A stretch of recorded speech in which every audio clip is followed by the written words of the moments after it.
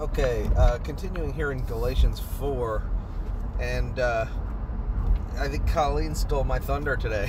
she did a message on the, what is the true circumcision and referred to this story that we're going to talk about that Paul uses as an allegory to illustrate a principle uh, distinct that you know showing us what the children of the flesh are versus the children of the spirit which he also calls children of the promise uh, and actually you know children of the spirit what we're talking about here is how does one walk according to the spirit we've moved beyond just you know so many people think that this book is just about how does one initially get saved it's not it's how do we walk according to the spirit how is the supply of the spirit uh, made available to a already saved Christian?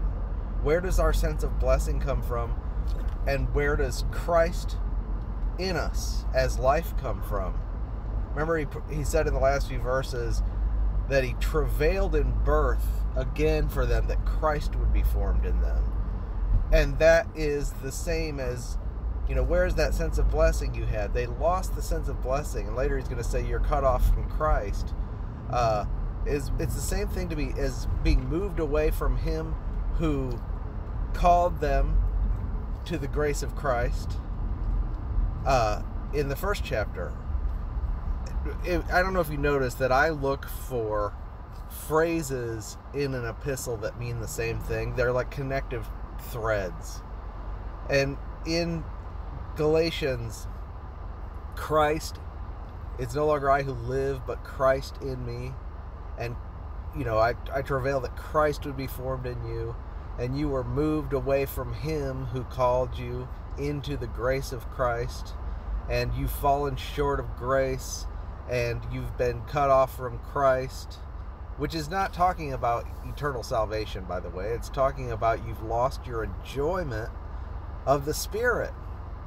Um, and these phrases all mean this, refer to the same thing which is you've gone back to becoming, to living like a child of the flesh versus a child of the spirit or a child of the promise, which are two phrases that he's going to use here that mean the same thing. To be a child of the spirit is to be someone who, remember, we said that the supply of the spirit works by the hearing of faith. Well, what is the hearing of faith? It believes the promise. And what is the promise? It's the gospel. Uh, the child of the promise is the gospel, uh, is the person who believes the gospel. And that person is a child of the Spirit, versus the person who's a child of the flesh, who is uh, someone who's seeking to be perfected by the flesh and has been brought into captivity and has lost his sense of blessing, even though he may be initially justified. He's not not saved. He is not enjoying the blessing He's been separated from that sense of blessing. And he's going to use Ishmael and Isaac as examples of the children of the flesh versus the children of the promise in here. So let me read this real quick. He said, Tell me, you that desire to be under the law, do you not hear the law? For it is written that Abraham had two sons, the one by a bondmaid and the other by a free woman. But he who was of the bondwoman was born after the flesh, but he of the free woman was by promise. Which things are an allegory, for these are two covenants the one from the Mount Sinai, which genders to bondage, which is Hagar. For this Hagar is Mount Sinai in Arabia. It answers to Jerusalem, which now is, which is in bondage with her children. But Jerusalem, which is above, is free, which is the mother of us all. For it is written, Rejoice, thou barren that bearest not. Break forth and cry, thou that travailest not. For the desolate has many more children than she which has a husband. Now we, brethren, as Isaac was, are the children of promise. But as then he that was born of the flesh uh, persecuted him that was born after the Spirit, so it is now. And then in verse 31, he says, We're not children of the bondwoman, but of the free. So what's he talking about here? You have to know the story, right? Um, first of all, we are children of the promise, like Isaac was. In contrast to the others who are children of the flesh, and he's referring to Ishmael. And the story is in Genesis 12, which he already referred to in Galatians 3, the scripture preached the gospel to Abraham, saying, In your seed, or in you, shall all the nations be blessed. Then in Genesis 15, God confirmed a covenant with Christ, which we call the everlasting covenant. And that was when he put Abraham to sleep and was much more specific about it's your seed that's going to be blessed. And Paul tells us in Galatians 3 that that seed is ultimately Christ, with whom God confirmed the covenant. Again, in Genesis 15, when the oven and the torch passed through the pieces of the animals while Abraham was asleep. So God was confirming a covenant with Christ, and this is the basis of the gospel. This is a covenant that is in contrast in Galatians with the covenant at Mount Sinai, which was the law, which was 400 years later after the covenant that God confirmed beforehand in Christ, that secured the inheritance, that's the basis of the gospel, and uh, cannot add conditions to it or disannul it. So there's two covenants he's contracted, contrasting here. Not the old covenant and the new covenant. No, the new covenant is a replacement for the Mosaic covenant. No, it's the Mosaic covenant and the everlasting covenant that is being contrasted. And the everlasting covenant is the basis that we are all generated from, whether Jew or Gentile. It's the mother of us all, it's the Jerusalem which is above. Versus the Jerusalem below that is in bondage with her children. So he's saying, look, there's this story in the Old Testament of Abraham uh, going through some motions that turn out to be an allegory. And there's two women. There's Sarah, which corresponds with the everlasting covenant, and there is Hagar, which corresponds with Mount Sinai. Okay? And the there are two sons by these two women. The one is by a bondmaiden, the other by a free woman. Uh, in verse 24, 23, it says he was born of the uh, bondwoman was born after the flesh, but he was of the free woman was by the promise. Which things are an allegory. Now they really happen, but they also illustrate principle, uh, spiritual principles. For these are two covenants, the two covenants. The one from Mount Sinai, which genders to bondage, which is Hagar. but this Hagar is Mount Sinai in Arabia, and answers to Jerusalem, which is now, which now is, and is in bondage with her children. But the Jerusalem which is above is free, which is the mother of us all. That Jerusalem, uh, Hagar, corresponds with Mount Sinai, which is earthly and is the law and is a ministration of condemnation and death and produces children to bondage and is typified by Hagar and Ishmael. And Sarah represents the everlasting covenant, which is from above because it's a heavenly agreement between the Father and the Son. It's not even an agreement with God and man per se.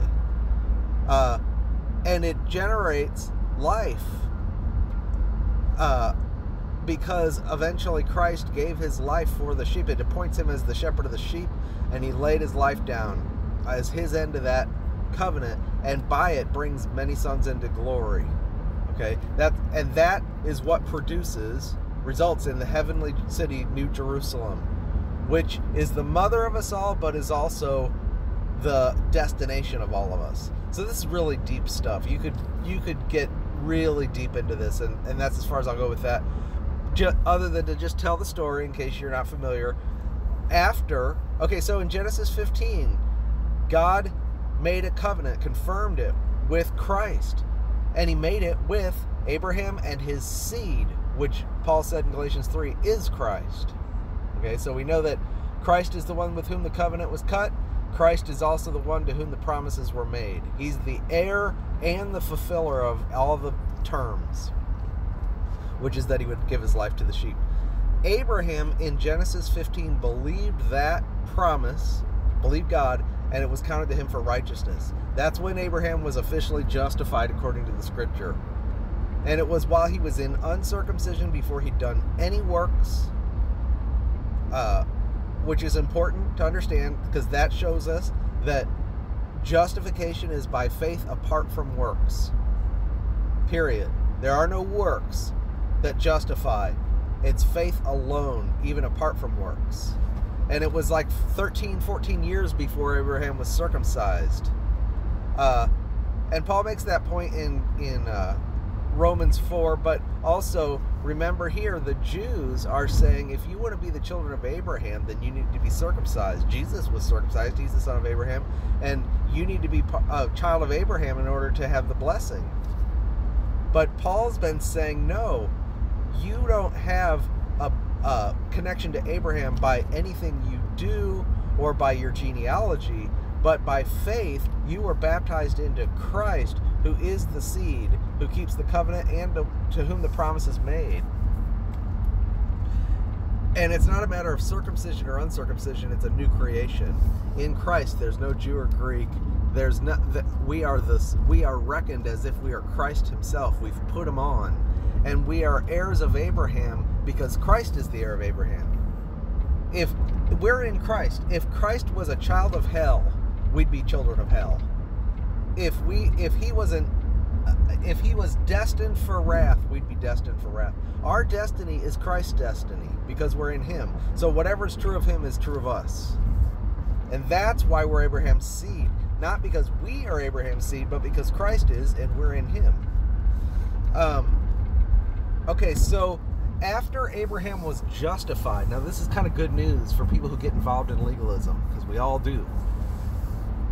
The next thing that happened was Abraham knew he was supposed to have a seed, and it was through whom that through that seed that all the nations we blessed, his salvation rested in the seed coming forth. Without the seed, there was nothing. And he got restless because Sarah's womb was barren. She's past childbearing, and he was like 100 years old, or 70, uh, a little, I think he was 90. And so she suggested, Why don't you go into my handmaiden, who's Hagar, the slave, and have a child by her, and we'll raise that as the heir. And so he did. And that was the beginning of 13 years of silence from God, where Abraham was out of fellowship, but thinking he had the legitimate heir. And he was raising Ishmael in the house. And uh, Hagar started to persecute and despise Sarah because she thought, wait a second, my son is the heir. He's the he's the one, and I should have a position in the house as the first wife, you know. And uh, so there was strife brought into the house through this. And Abraham, there's no record that God spoke to him during that time. At the end of 13 years, and he loved Ishmael. He really did. That was his heir. Uh, he raised him God appeared to him again and said, No. He said, Oh, that Ishmael might live before you. Nope. Because I'm going to come in the time of life and Sarah's going to conceive. And God totally disregarded Ishmael. And then God did visit Sarah in her barrenness. And uh, when Abraham was supposedly too old to even bear a, bring forth a seed, right? Isaac was born. And Abraham and Sarah believed. Uh, and that's how Isaac was born. And it, it was totally supernatural. God demonstrated that uh, this had nothing to do with you coming in and trying to help me fulfill the promise. That's not legitimate. And not only that, but God had Abraham circumcise the males and himself. That was the beginning of the covenant of circumcision. And circumcision is representative of the cutting off of the strength, of the natural strength in its religious service to God. Circumcision is on the reproductive organ, which God was saying, Abraham, I, you know, you did this thing with Hagar and produced Ishmael, which I don't recognize that needs to be cut off and you need to and your your real seed that's reckoned is going to be the circumcised ones. And we know from like Romans 2, it says the true Jews are those who are circumcised, not in, just in the flesh, but in the heart. And circumcision is the repudiation of your natural strength in the religious service to God, not trying to help God with the flesh. Uh, and we'll talk more about that later because he's going to use the term Israel of God in chapter 6. But uh, Paul says in Philippians 3 we are the true circumcision who serve by the Spirit and boast in Christ Jesus and have no confidence in the flesh. Circumcision represents putting off confidence in the flesh. But then when he was after everybody was circumcised and he, he eh, Isaac was born, he started raising Isaac and Ishmael persecuted Isaac. There was persecution in the house. So eventually God had to have Abraham cast Hagar and Ishmael out of the house. Okay? And so even though this is really stuff that happened, Paul is saying this is an allegory representing two covenants and the way this whole thing works. Sinai and the law is typified by uh, Abraham's attempt to trying to help God produce what only God could produce. And remember at the foot of Mount Sinai when Moses gave the law, he said there's blessings and cursings on if you do it, you're blessed. If you're if you don't do it, you're cursed. And we know that everybody who's under the works of the law of the works of the law is under the curse because cursed is everyone who does not continue in all the things written in the book to do them. Nobody can. But the children of Israel said, All that you've commanded, we will do. And that was self deception. And the next 40 years was them being exhausted of their natural strength so that they could finally be circumcised in reality uh, to be brought into the good land, not in their own strength, but in God's strength. And we all have to go through that where God shows us what our flesh is and shows us that He doesn't count it for anything. Um, he does not recognize the works of the flesh, He ignores them. He ignored Abraham's attempt to raise a seed in his house. Said, nope, it's going to be through Isaac, or through Sarah, sorry. So again, Hagar and Ishmael represent Abraham's time of religious service in the flesh, trying to help God do what he knew God wanted to do, but this was his uh, mixture, his flesh and his unbelief working together to produce Ishmael, and then that produced a child of the flesh who was a source of persecution for Isaac and strife in Abraham's household and dryness in Abraham's relationship with God. And that all is a picture of what the covenant of Sinai is. Those who are of that covenant and cleave to it are the children of the flesh. They're all trying to help God do what only God can do. Only God can produce the righteousness that the law points to. And he has to do it, do it in us by Christ as life, who is typified by Isaac. And Isaac, uh, we, like Isaac, are children of the promise and children of the Spirit, which means we are those who are not trying to help God produce something we are those who believe what God has said. And see, Abraham reached that point according to Romans 4 when you read the account of the same thing. Romans 4 says, Abraham waxed strong in faith, giving glory to God, counting that what God had sworn he was able to do, being firmly persuaded, and uh, knowing that God gives, he didn't reckon on his own body as though dead, but and the barrenness of Sarah's womb, but uh, reckon that God, who calls those things that are not as though they are and gives life to the dead, is able to do what he promised. Now, that's if you read the story in Genesis, that's not what happened. He didn't just wax strong in faith, giving glory to God. No, he did the whole thing with Ishmael. But in the account, the justified, edited account that God keeps in his memory, God only sees Abraham's faith. He disregards the flesh. And that gives us me hope for the Bema seat. The flesh is just burned off, it's just not referenced. When God tells the story of Abraham, he waxed strong in faith. That's the justified record. But when you go back and read the real history, you realize no, he had this whole 13 year thing with Ishmael, which is the children of the flesh, and it was flesh and dryness and strife and unbelief, right?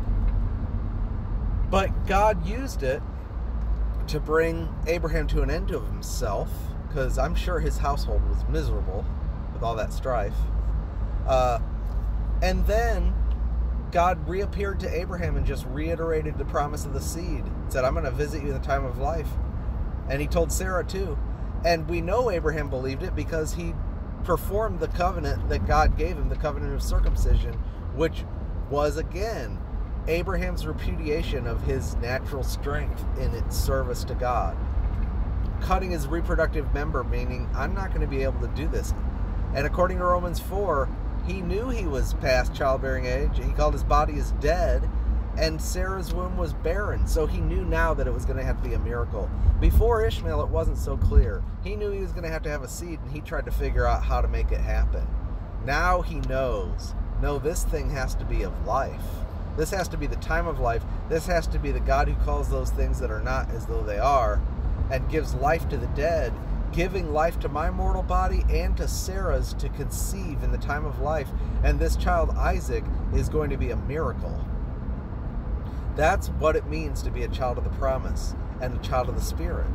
And what Paul is saying here is that's how we live. And as a Christian, you can be two kinds of people. You can be child of the flesh or child of the promise based on whether or not you are trying to perfect yourself in the flesh by going back to law keeping, in which case you will persecute the sons of the promise, or you are believing in God's word and his promise and the gospel under the hearing of faith and waiting for the supply of the Spirit. You know, God said, I will visit you in the time of life, and he didn't tell them exactly when that would be we don't know when the fruit's going to come in our life, but God promises it. And He's waiting for us to stop with our Ishmaels and our flesh and our resolutions and our attempts to keep the law and perfect ourselves in the flesh and to come back to the gospel, which is where we get our sense of blessing, how Christ is manifested, how the Spirit is supplied, how Christ is formed in us, and how eventually Christ lives in us. So again, this all goes back to I, through the law, died to the law that I might live unto God. I've been crucified with Christ. Nevertheless, I live, yet not I, but Christ in me. And the life I now live in the flesh, I live by the faith of the Son of God who loved me and gave himself for me. And it's literally the way I live is waiting on God to produce the Christian life in me. It's not me trying. You think about the Christian bookstores, they're all every book in there almost is, is Ishmael. How to have a happy marriage, how to be a good this, how to be a good leader, how to win people to the Lord, how to fill in the blanks, how to have peace, how to have joy, how to have the fruit of the Spirit, how to walk in love. These things are not given to us by instruction they're given to us by life as Christ is manifested in us. And the, what the apostles tell us to do is look to the promise. Now, yes, the apostles do admonish us to walk worthily of the gospel and how our household should be, but it doesn't tell us how. It's all based on uh, the given that you understand that the gospel is how this works. And if I tell you to do something as a Christian, I'm appealing to you based on the gospel. I'm not telling you how to do it. I'm telling you, yeah, you need to do this, and yet I'm giving you the gospel as the means. And you still have to wait on the Lord. The law is there, you know, instructions are there, commands are there to um, give your flesh some definition so that you know what the flesh is and to cause you to know what you're what you're looking for in Christ. It defines, you know, but the law bears witness to the righteousness of God, but that righteousness is manifested in Christ. And apart from Christ, there none of that righteousness is going to be manifested. We need Christ. So our life is not lived by trying to do what the law says. That produces Ishmaels. No, our life is learning to look away and even repudiate our own natural strength to be the true circumcision and have no confidence in the flesh and to be children of the promise, children of the Spirit. So that's the essence of this little section in the chapter. He's just using Abraham, Ishmael, and Isaac to typify these two different manners of life. And it's interesting that they all happened, all of that happened after Abraham was justified. So there are many Christians who are justified because they believe the promise, and yet they're in their Ishmael stage, still trying to make it happen. And it's an illegitimate thing, it's adulterous. He went into Hagar, right? That is adultery. And what does Paul say about, and, and you know, in Galatians 4, he says that Hagar represents Sinai, which is the law. And remember in Romans 7, he said, uh, do you not know that a lo- the if you're under the law, the husband has the right over the wife. That marriage is intact as long as the man lives. But you died to the law through the body of Christ, through the it, with it, when you died with Him, so that you may be rightfully joined to another, so that you're not called an adulteress. And Paul shows us that trying to be married to the law while we're married to Christ is adultery. It's the first form of spiritual adultery. And didn't Abraham commit adultery when he went into Hagar to produce Ishmael? Ishmael is the fruit of adultery with the law. Trying to help God with your flesh is a kind of spiritual adultery. We need to stay true to Christ, pure to Christ, singly focused on Christ, joined to Christ, married to Christ, and let Him be the real husband, the real head who supplies everything and does everything. We need to recognize our role in that relationship, which is my husband, who is my head, provides and does everything, and I am His fruit. You know, I'm in I'm His work and He's cherishing me and nourishing me and washing me and purifying me and bringing forth his glory in this relationship. It's all of Christ. Okay, um, so that's all I have to say about that. Colleen did a uh, Be Still and Know did a good teaching on this today about the true circumcision, and we'll touch that point some more later. Uh, but that pretty much covers this little section.